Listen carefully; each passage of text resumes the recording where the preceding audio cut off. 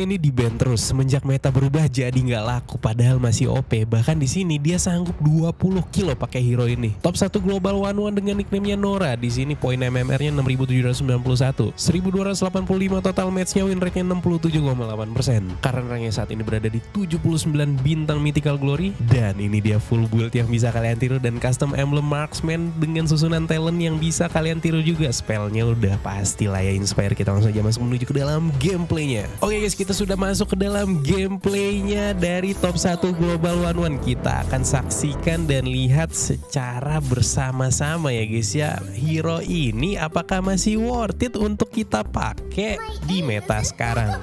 Nah, di sini dia dikemenin sama Estes nih, menarik. Dia bakalan ngelawan si Kimi ya. Emang agak sedikit aneh juga nih, Kimi Goldland. Kita lihat apakah one one nya di sini berhasil. Mungkin dia pick Kimi untuk counter one one kali ya karena memang Kimi burst damage magicnya early game lumayan sakit juga ya. Emang setelah Nihiro udah di nerf berkali-kali nggak cuman sekali loh. Kemarin itu sempet di nerf sekali masih OP di nerf sekali lagi masih OP terakhir di nerf udah bener-bener nggak ada yang make guys. Coba kalian tebak selama kalian ngereng berapa kali kalian ketemu one one atau orang ngepick one one di rank mau itu jadi musuh atau tim kalian? Pasti jarang banget. Ada tapi jarang gitu loh. Emang se terlupakan itu kah hero ini saat ini? Padahal masih OP banget. Terbukti di game ini dia sanggup 20 kill loh. Di glory ya bukan di epic atau legend. Dan lu lihat dia masih level 2 tapi sanggup nyicil nyicil. Ya terlepas dari emang dia disupport sama Estesnya yang ya nggak perlu pikir panjang untuk ngedes ke depan ya karena di sini dia dapat asupan heal terus-terusan dari Estes. Tapi kita lihat guys ini udah ada tiga orang nih. Eudora, Minsitar dan juga Kimi kita lihat ada oke Barasnya di situ masuk menggunakan ultimate-nya. Sama-sama masih level 2 dan 3 nih belum ada ulti. Tapi di sini dia memanfaatkan inspire untuk mendapetin kill ke Eudora. Gimana guys menarik kan? Ini hero masih OP sih sebenarnya. Cuman tergantung dari kalian menggunakan si skill hero ini aja. Memang kalau di nerfnya itu lumayan cukup parah sih menurut gue ya. Dari mulai jarak ultinya sekarang dipersulit diperpendek gitu ya kan. Terus itu basic attack-nya juga dilemahin nggak sekencang dulu banyak banget lah. Tapi itu bisa diakalin dengan spell inspire dan juga item attack speed tentunya. Dan di sini dia bahkan ngedapetin killing spree. Menit 2 killing spree loh. Gimana? Kalian tertarik nggak make hero ini? Ini hero sebenarnya nggak banyak yang make. Tapi masih OP itu kalian lihat sendiri dia ngedapetin killing spree di menit 2 ya memang harus disupport juga sih ya sama Estes ini di sini Estesnya sangat berguna banget ngebuat one one nya jadi kayak darahnya penuh terus bisa ngedes ke depan main agresif.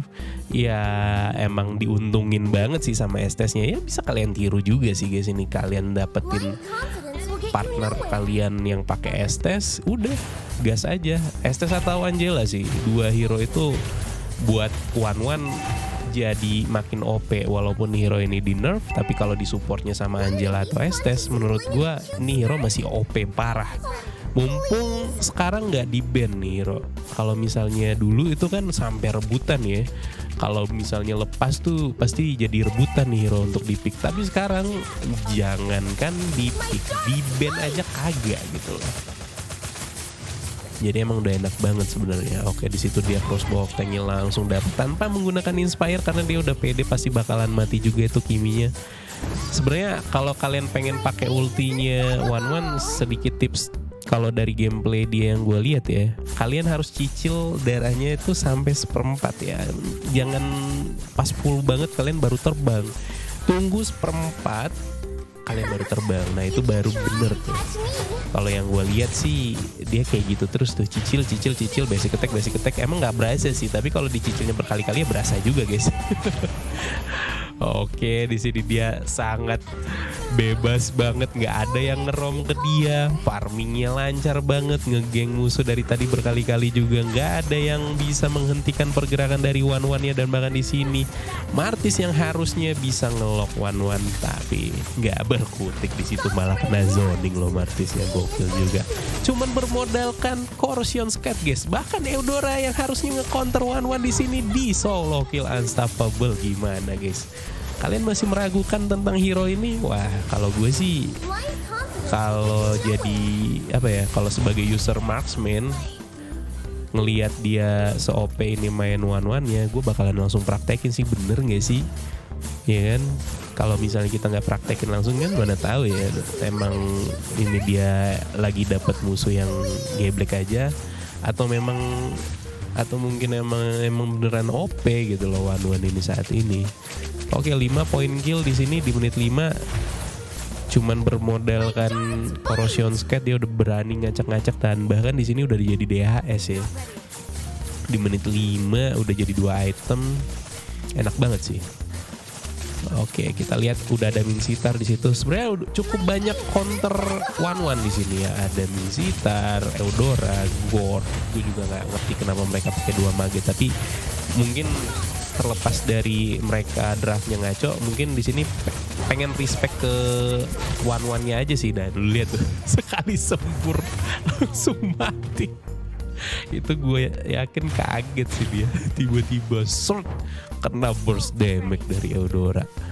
Oke kita lihat lagi di sini dia udah hidup Oke, terkena tarik di situ tapi di sini one one-nya berjuang sendirian satu versus tiga. Israel guys, nggak ada bantuan sama sekali. Di AP dua orang sekaligus dan dia mati lagi, sayang banget.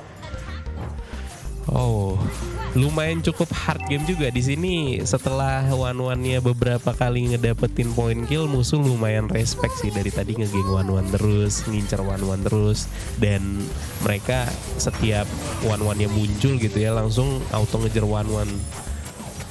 Oke, kita lihat di sini. Dia mencoba untuk mendapatkan ultimate-nya dan langsung aja crossbow of tanknya aktif di situ. Mengdouble kill Bin Sitar dan juga Martis Kimi.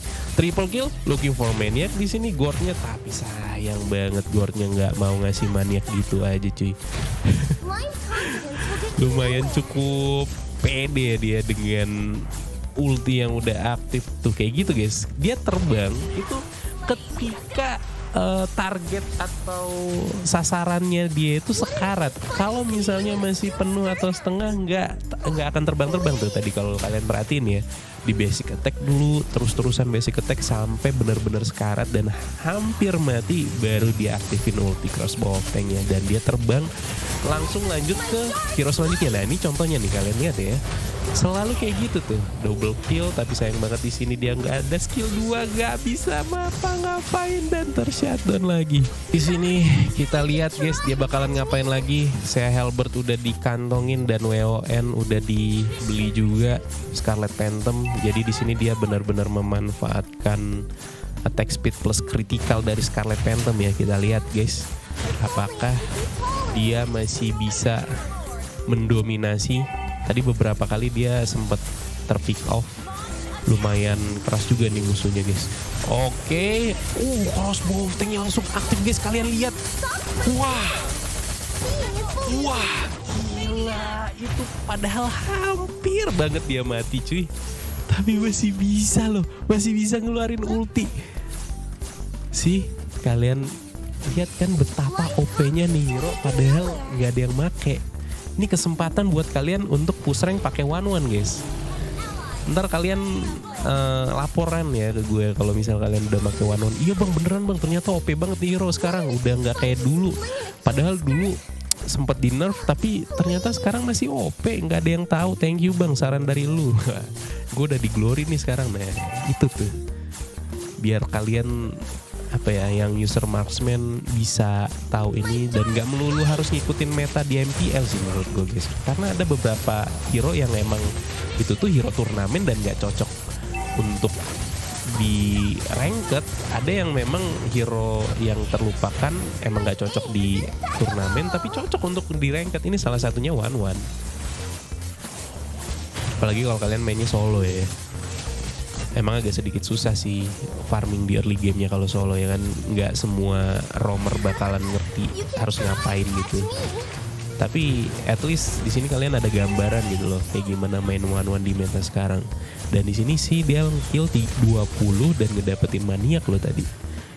Dan item terakhirnya yaitu berserker free menurut gue ini item unik juga. Jadi dia di sini memanfaatkan critical juga attack speed iya juga gitu loh dan langsung di end gamenya dengan sangat cepat oleh top 1 global one one Thank you buat kalian semua udah nonton dan jangan lupa kalian suka konten gue diklik tombol like dan subscribe-nya sampai ketemu di konten gue selanjutnya. Bye bye guys.